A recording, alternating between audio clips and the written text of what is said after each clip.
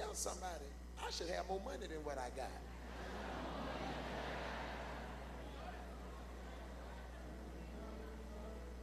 How many of you in here, how many of you in here are givers? Now some of y'all stingy, so don't put your hand up. Stop lying. How many of y'all in here really are givers? Wave at me. Put your hand up. How many, how many tithers are in here? Well, he made you a promise. He said, I will rebuke the devourer for your sake. You ain't supposed to be struggling. Somebody called me today. Somebody called me today. He said, hey, prophet. I said, how you doing? He said, I, just, I, I want to give you $10,000. I said, for what? They said, the Lord just told me to give it to you. See, see, I need you to get to a place that you tap into such a river and such a stream, right? Are you listening? You tap into such a stream that God start putting your name in on people's mind. And they just come up with ways to bless you. Are y'all ready? This is what you're gonna do. Just watch me. Watch me. Watch. You're gonna say, money coming to me now. Can you do that? Come on, let's practice. Real soft. Because when you do it loud, angels are released. We're going to do it soft. Practice. Hold your hand out. You ready? I heard somebody say, man, I ain't got time to be practicing. Real soft. Come on. Money coming to me. All right. Not money come. Money cometh. Cometh. ETH. A continual flow. You ready? You ready? Right before I preach on what I'm going to preach on, I, I, I, think I might teach again tonight and preach tomorrow. But are you ready for this? Are you ready? Are you ready? Money coming to me. Shout about it.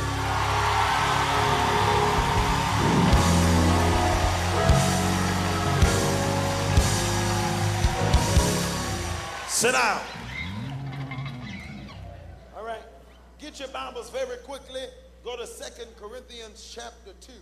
Second Corinthians chapter 2. Somebody say hallelujah. hallelujah. I can't hear you. Say hallelujah. hallelujah. Say it again. Say hallelujah. hallelujah. All right. Second Corinthians chapter 2. And I, I want you to hear me. And maybe I'll get a chance to preach in a minute. But I really, really, really want you to hear this because certain blessings begin to be released in my life and certain miracles, even financially, begin to happen in my life when I begin to work these principles or pray these prayers or say these things or when I became aware. Somebody shout aware. aware. All right, we know that the Bible says in Hosea chapter 4, verse 6 that my people are destroyed for what? Lack of what? Okay, so the job of the enemy is to keep you ignorant. If he can keep you not knowing nothing, he has an advantage. So Second Corinthians chapter 2, verse 11 says something very profound to me. It's one of the one of the most powerful scriptures in the Bible that I've ever read. It says something very profound to me. And I want you to say this. I, I mean, I really, really, really want you to hear what I'm about to say to you. He said, Lest Satan should gain an advantage of us, for we are not ignorant of his devices. Lest Satan should get an advantage of us, for we are not ignorant of his devices. You must understand that in the hour that we're living in, the job of the enemy is to keep you at a place to forever come to church, to forever shout, to forever scream, to forever turn around three times, to forever go through the motions and never obtain victory. The truth of the matter is, most of us who come to church and sit in the house of God, who come in here and dance and shout and scream, most of us, if you were to really ever communicate or talk to us, most of us are not really happy. Most of us are not really satisfied. Most of us are not really content with what God is doing in our life. We know that on the inside of us there is a greater dimension, there is a greater level, that there's more to God than just coming to church and going through the motions. I became extremely disappointed and extremely mad when I saw people in the body of Christ who love God with every fiber of their being, love God with everything that is in them. I'm talking about prayer warriors, I'm talking about prophetess, apostles, men of God who genuinely love God. Yet, one thing that they seem not to be able to have the victory over is the opposition and the powers of hell. You must understand that the devil that we are dealing with, he is not a weak devil, he is not a dumb devil. The devil is smart, he is conniving, he is so smart that the Bible declares, Be wise as a serpent and be harmless as a dove. That's how smart the enemy is. He's conniving, he's tricking, he knows your weakness, he knows what will get to you, he knows how to get to you, he knows who you like, who you don't like, he knows how to agitate you, how to get on your nerve. Am I talking right? The enemy knows your weaknesses and he knows your strengths. But there are many people who are sitting in the very house of God who are going through the motions, yet you have no victory in your life. There's sickness in your body, there's pain all through your body, there's fail with your children, there's calamity in your finances. You seem not to be able to get the victory. And Paul said that the way that the enemy gets an advantage of you is when you are ignorant of his devices. You must first understand that you cannot fight the devil with a BB gun. You cannot fight him with an AK-47. You cannot fight him with a pistol, a 9 millimeter, or a shotgun. But you must understand that the weapons of our warfare, they are not carnal, but they are mighty through God, uh, through the pulling down of strongholds, uh, casting down imaginations, uh, and every high thing that exalts itself against the very knowledge of God. Your battle is in the spirit realm, and you are trying to fight things in the natural that can only be dealt with in the spirit. You must get to a place where you're able to look person who is you at your job and say, baby, I'm not to fight you because you are not my battle. We do not wrestle against flesh and blood, but principalities and powers and spiritual wickedness in high places. I feel an anointing coming on me. You must understand that this battle that you are fighting is a spiritual battle. And if you're to defeat the devil, if you're to get victory over him, you must stop hanging out with a bunch of carnal people and people who have no power and people who can't cast the devil out of nobody.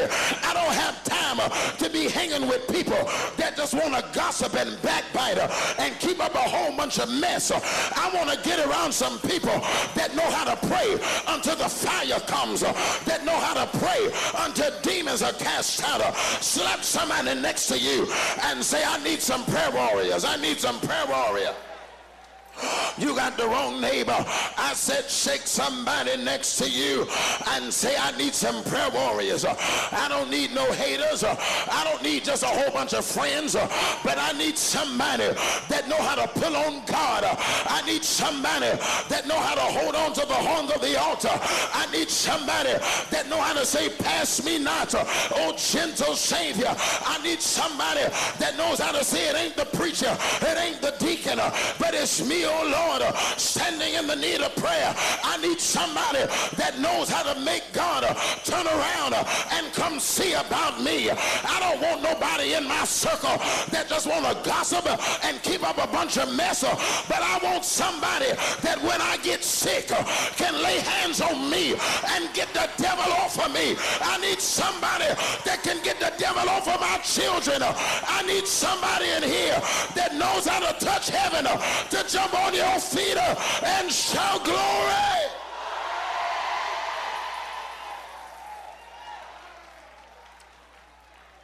The way the enemy gets an advantage over you is when you are ignorant uh, of his devices, uh, when you do not know how he operates, uh, most of you will never catch the enemy because you expect the devil to show up with horns on his head. You expect him to have a pitchfork. You expect him to look like the devil. But the Bible says, marvel not, for Satan himself is transformed into an angel of light. So you must understand that the devil is not going to show up looking like the devil, but he's going to show up with a collar around his neck. He's going to show up with a cross around his neck. The devil might even have on a suit. Y'all ain't talking back to me in here. You got to know how to identify the devil, and the devil will use whoever he got to use. He'll use your mama. He'll use your daddy. He'll use your sister. Come on, talk to me. He'll use your brother. He'll use your husband. He'll use your wife because the enemy knows how to get your attention. He always comes in a way that you don't recognize. That's why whenever I see somebody and I recognize that the devil is using them, I don't get mad at them. I said, excuse me one minute. I look at them and I say, listen, I'm not talking to you, but let me talk to that demon spirit that's using you that think it's going to have the victory over my life. But I want the devil to know tonight uh, that no weapon, y'all should read your Bible, that is formed against me shall be able to prosper. I'm reminded of Jesus. Uh, he's having a walk with the disciples. Uh, he looks at the disciples and he says, I have to die. When he says I have to die, Peter talks up and Peter says, be it far from you. Jesus looks at Peter and recognizes uh, that ain't Peter talking. That's a spirit using Peter. He looked at Peter dead in his face uh, and said, get thee behind me, Satan. Sometimes you got to look at that child in your house uh, and say, get thee behind me, Satan. Sometimes you got to look at your co-worker and say, get thee behind me, Satan. Sometimes you got to look at the person who's making you mad sitting on your pew tonight. You got to look at them and say, get thee behind me, Satan. Don't let nobody take your joy. Don't let nobody take your peace. As for me and my house, we will.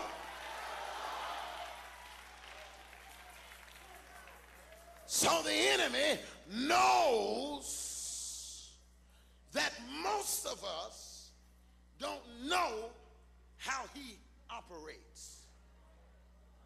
Would y'all talk back to me? He knows that most of us don't know how he does things. That you got all kind of witches.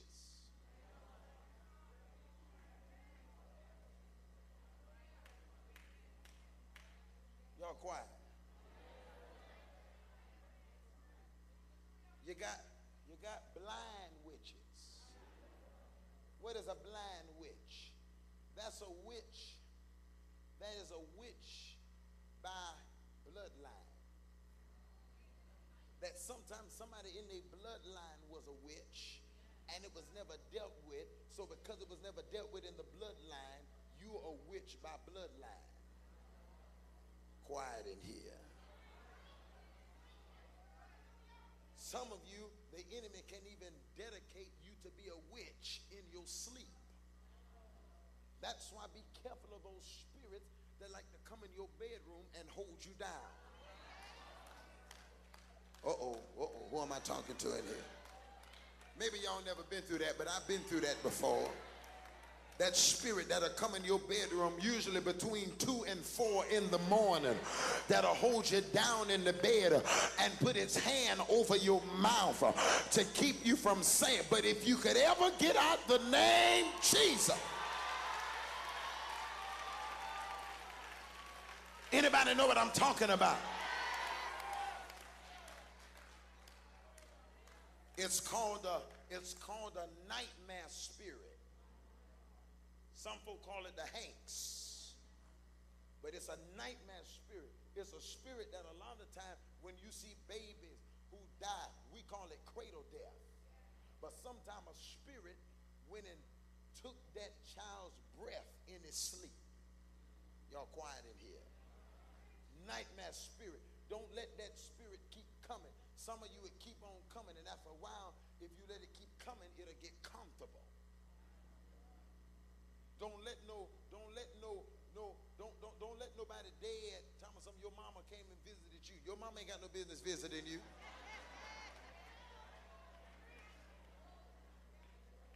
My daddy came and gave you a message. Devil is like, you better tell your daddy, go back where he came from. Because that's a familiar spirit. Are y'all listening to me? You have blind witches, but then you have a functional witch. And a functional witch is the witch who does the voodoo, the, the black magic, who does the witchcraft, who, uh, uh, you, you understand.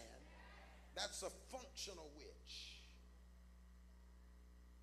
And those kind of witches come to church. Some of y'all sitting next to a witch. Y'all quiet in here. Or don't think because they shouting they not a witch. Don't think because they run through the church don't mean they not a witch. Am I getting on y'all nerve yet? I'm gonna show you something and I'm going somewhere. You have a blind witch. You got a functional witch. But then you have a charismatic witch. What is a charismatic witch? Those are witches that come to church. Those are the witches that operate in the church. Those are the witches who hold mics. Those are the witches who hide behind the prophetic. See, some of y'all so gullible and so hungry for a prophecy that you'll take a word from a witch and you just let anybody speak in your life. I don't let everybody speak in my life. See, witchcraft is a work of the flesh. So, charismatic witchcraft is if I'm up here prophesying under the anointing. Let's say I'm up here prophesying under the anointing. The Spirit Lord come upon me to prophesy, and it's Him. Well, when the anointing lifts, I'm supposed to shut up. But if I keep flowing when the anointing lifts, I've tapped into witchcraft. Because there's a thin line between the anointing and divination. Y'all quiet in here. How many people know that witches can prophesy and be accurate? Am I right about it? So one thing you have to make your prayer is I blind the third eye. What is the third eye? That's the eye that witches look through. I'm messing y'all up tonight, ain't y'all? I'm trying to help you so you can know what you're fighting. The third eye. That eye was opened in the book of Genesis. Then your eyes shall be open. You shall know good and evil. Be careful of any prophetic voice who knows everything. Whenever you know too much, that's witchcraft. Because God don't give nobody everything. The Bible says we know in part and we prophesy in part. Even Elijah, y'all quiet in here. Even Elijah, when when the when the woman was concerned about her child, the Elijah said, The Lord has hid this thing from me. There are some things that even God hides. Y'all quiet in here. There's something he just ain't going to show you. Because if he show you everything, you won't need God. Raise your right hand say in the name of Jesus. Let me tell you something. If you keep on sounding like Presbyterians, I'm going to hit you with this mic. Try it again. Come on. Say in the name of Jesus. Every functional witch, every blind witch, every charismatic witch in my life, in my circle, in the name of Jesus, I command them to be removed from my life tonight, now, in Jesus' name.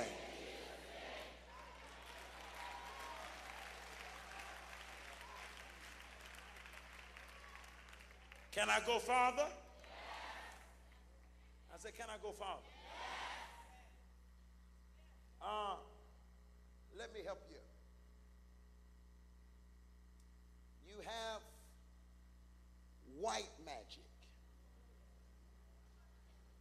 What is white magic? They call that good magic. All of it's going to send you to hell. You know, white magic, that's when somebody do magic to wish you good. But it's witchcraft. And it's ungodly. You have white magic, but then you have black magic. That's when somebody does magic on you to do you harm. Tell somebody, it won't work in my life.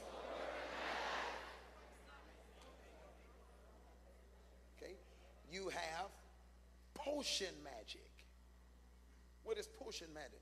That's magic through oils. Be careful when people are always trying to give you oils and lotion to put on. Y'all quiet. Nobody shout no more. Some of y'all sitting there thinking, mm-mm, she sure is always trying to give me oil. I wonder if she a witch.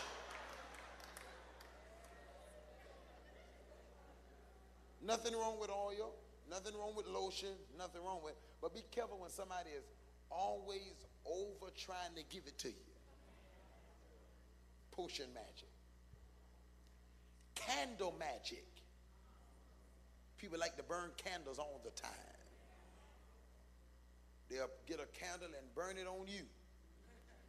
They'll do that. You have contagious magic. What is contagious magic? That's when somebody work a spell on you, but by me being connected to you, it comes on me. Some of y'all had money till you connected with certain people. Oh, I'm preaching good. Some of y'all was doing all right till you started hanging with certain folk. Till you got a, your marriage was doing fine till you got around them. Y'all quiet in here. You was doing good. You don't understand that you have been victimized by contagious magic. I'm trying to show you something because when you don't know how the enemy operates, he has what? An advantage. I'm almost done because I see I'm getting on y'all nerve. Somebody say black magic, white magic, candle magic, potion magic, contagious magic. There's another magic called sympathetic magic. What is sympathetic magic? That's when somebody control you with their emotions. That happens a lot in long distance relationships, or it happens a lot when a parent try to make a child feel bad when they don't do something for them. That's witchcraft. I knew y'all were gonna stop shouting. When you're trying to make people do stuff for you out of guilt. That's witchcraft. Quiet in here. Some of y'all witches that don't even know it. Praise God.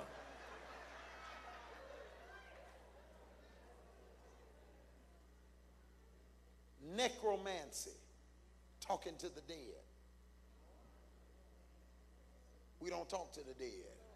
We don't communicate to the dead. Bibliomancy. That's when people do witchcraft using the Bible. Quiet in here, ain't it? When people tell you to take a scripture, put it in your shoe, and walk around with the scriptures in your shoe, witchcraft. Why nobody shouting no more? What's going on? Are you listening? Huh? You learning? You learning? I like how y'all in the Bahamians learning. Learning. Look at somebody say, I'm learning.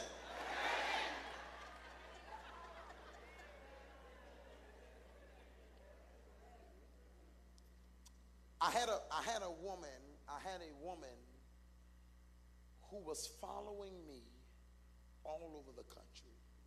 I mean, everywhere in America. Everywhere I went in America, she was there. I seen her so, and she would always have about four, five bags with her. And I gave her a name. Her name was Suitcase. And uh, and I said, there goes Suitcase. She made it. Look at Suitcase, y'all. She made it. On, Joe side, everywhere I went, I don't care if it, you know, America's a big country.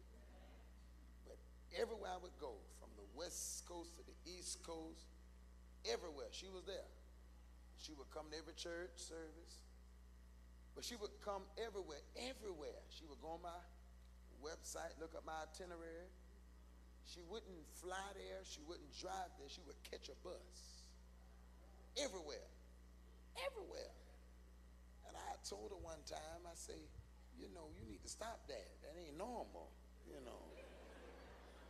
She said, well, I'm following the glory. I said, well, the glory at your church. You ain't got to follow me everywhere, you know. But uh, she said, no, everybody don't got it like you, Prophet Carn. I'm doing, oh, praise the Lord. Okay. So she kept coming and coming. So a woman of God was with me. I talked about her last night, Kim Danes, and I told her she majored in spiritual warfare.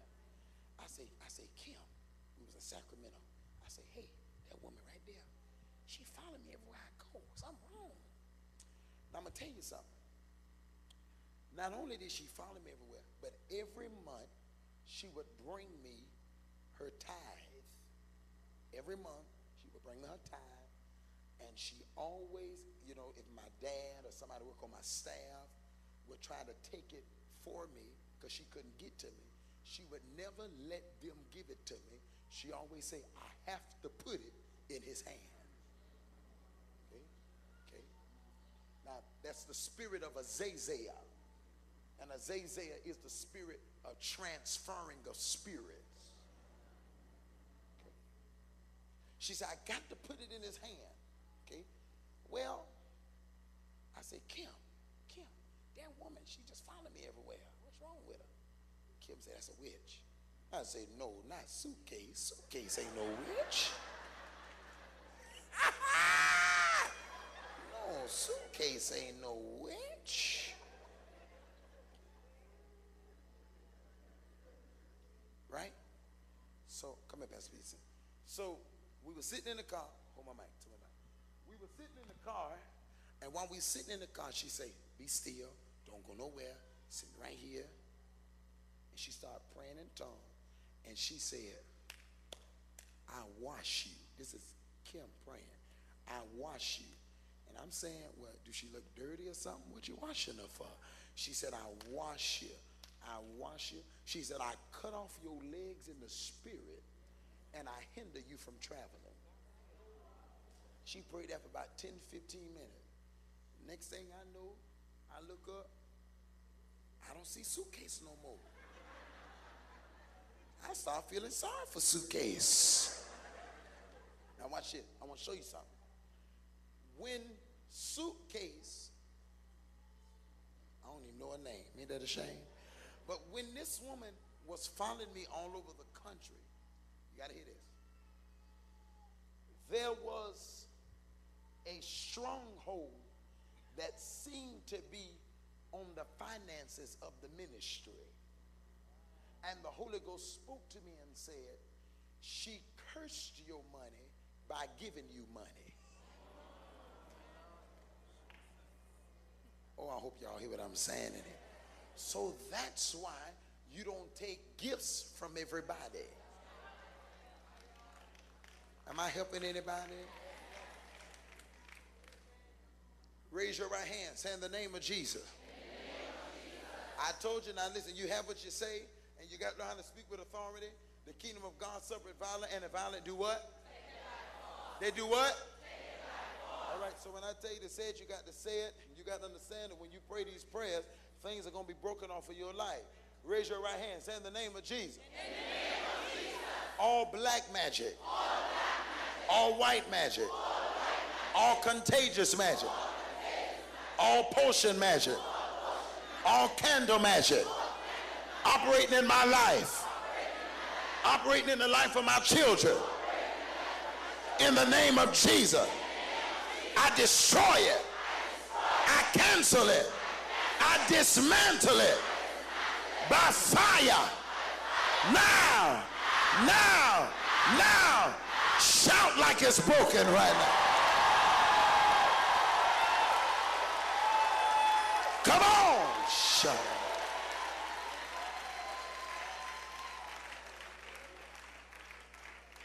Can I go a little farther? I was in Tennessee and I received a phone call from a woman who got healed in one of my services of HIV and AIDS. Completely healed, documented healed. I got a phone call while I was in Memphis and said, Sister Buchanan, the lady you know right now, I said, What? They say her body, from her head to about her knees, is completely covered in dead skin. But it ain't like she had a little bit. It was so much that she literally looked frozen. Okay? So this is why I tell you, you need a prophet in your life. Because there are certain secrets, Amos 3 and 7, that he only reveals to the prophet. Slap your neighbor, say, I need a prophet in my life. Take your neighbor, you need a prophet in your life.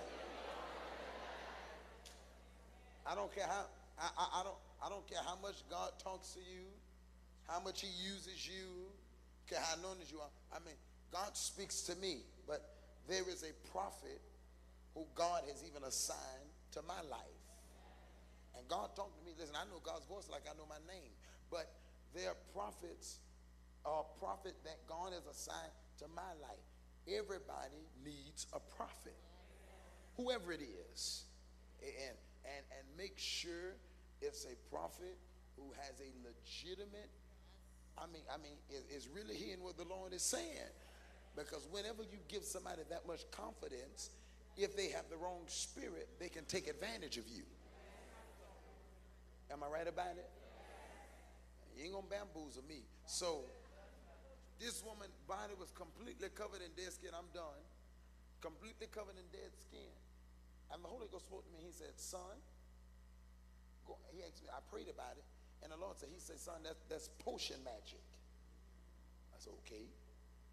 I say, well, how am I break it?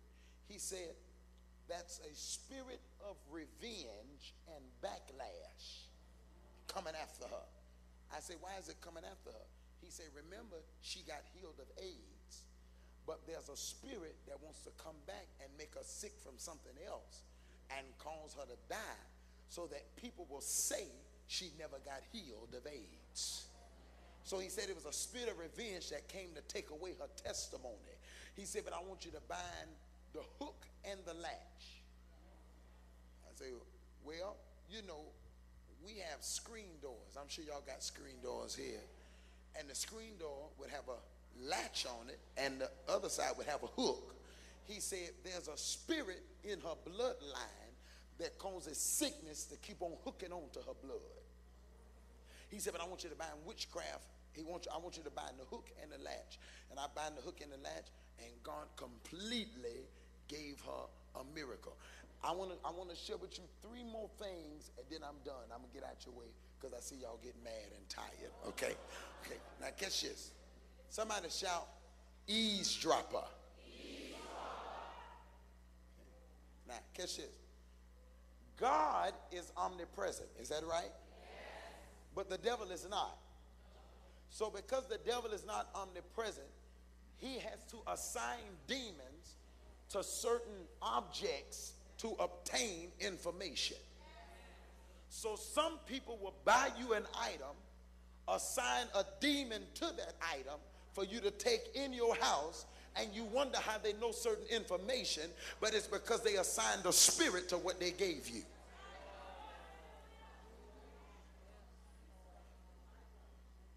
Am I messing with y'all? Somebody say eavesdropper. So a eavesdropper spirit is a spiritual tape recorder. Every time you get a prophetic word, you need to bind the eavesdropper. Why? Because the eavesdropper wants to hear what the word of the Lord is so they could sabotage it.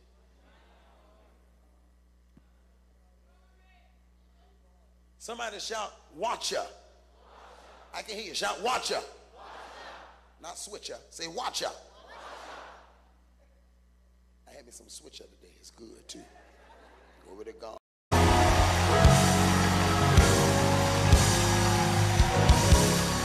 Sit down. All right. Get your Bibles very quickly. Go to Second Corinthians chapter 2. Second Corinthians chapter 2. Somebody say hallelujah. hallelujah. I can't hear you. Say hallelujah. hallelujah. Say it again. Say hallelujah. Second Corinthians chapter 2. And I, I want you to hear me. And maybe I'll get a chance to preach in a minute. But I really, really, really want you to hear this because certain blessings begin to be released in my life and certain miracles, even financially, begin to happen in my life when I begin to work these principles or pray these prayers or say these things or when I became aware. Somebody shout aware. aware. All right, we know that the Bible says in Hosea chapter 4, verse 6 that my people are destroyed for what? Lack of what? Okay, so the job of the enemy is to keep you ignorant. If he can keep you not knowing nothing, he has an advantage. So Second Corinthians chapter 2, verse 11 says something very profound to me. It's one of the one of the most powerful scriptures in the Bible that I've ever read. It says something very profound to me. And I want you to say this. I, I mean, I really, really, really want you to hear what I'm about to say to you. He said, Lest Satan should gain an advantage of us, for we are not ignorant of his devices. Lest Satan should get an advantage of us, for we are not ignorant of his devices. You must understand that in the hour that we're living in, the job of the enemy is to keep you at a place to forever come to church, to forever shout, to forever scream, to forever turn around three times, to forever go through the motions and never obtain victory. The truth of the matter is, most of us who come to church and sit in the house of God, who come in here and dance and shout and scream, most of us, if you were to really ever communicate or talk to us, most of us are not really happy. Most of us are not really satisfied. Most of us are not really content with what God is doing in our life. We know that on the inside of us there is a greater dimension, there is a greater level, that there's more to God than just coming to church and going through the motions. I became extremely disappointed and extremely mad when I saw people in the body of Christ who love God with every fiber of their being love God with everything that is in them. I'm talking about prayer warriors. I'm talking about prophetess, apostles, men of God who genuinely love God. Yet one thing that they seem not to be able to have the victory over is the opposition and the powers of hell. You must understand that the devil that we are dealing with, he is not a weak devil. He is not a dumb devil. The devil is smart. He is conniving. He is so smart that the Bible declares, be wise as a serpent and be harmless as a dove. That's how smart the enemy is. He's conniving, he's tricking. He knows your weakness. He knows what will get to you. He knows how to get to you. He knows who you like, who you don't like. He knows how to agitate you, how to get over. Tell somebody, I should have more money than what I got.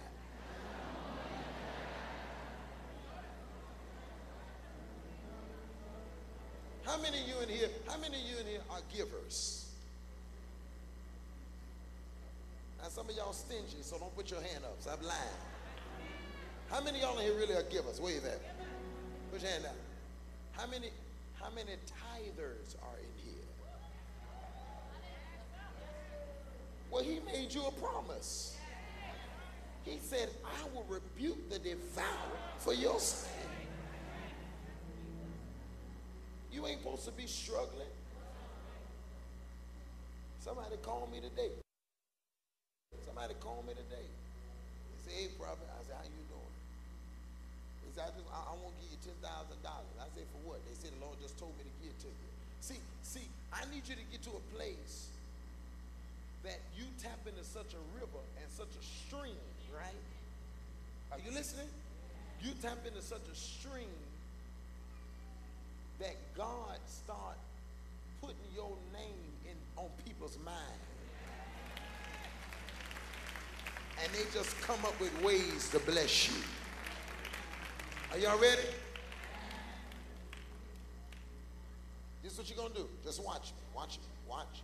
You're gonna say, money coming to me now. Can you do that? Come on, let's practice. Real soft. When you do it loud, angels are released. We're gonna do it soft. Practice. Hold your hand out. You ready?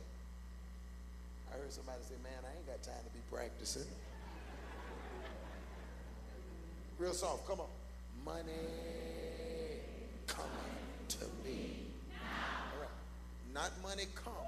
Money cometh. Cometh. ETH. A continual flow. You ready? You ready? Right before I preach on what I'm going to preach on, I, I, I think I might teach again tonight and preach tomorrow. But are you ready for this? Are you ready? Are you ready? Money coming to me. Shout about it.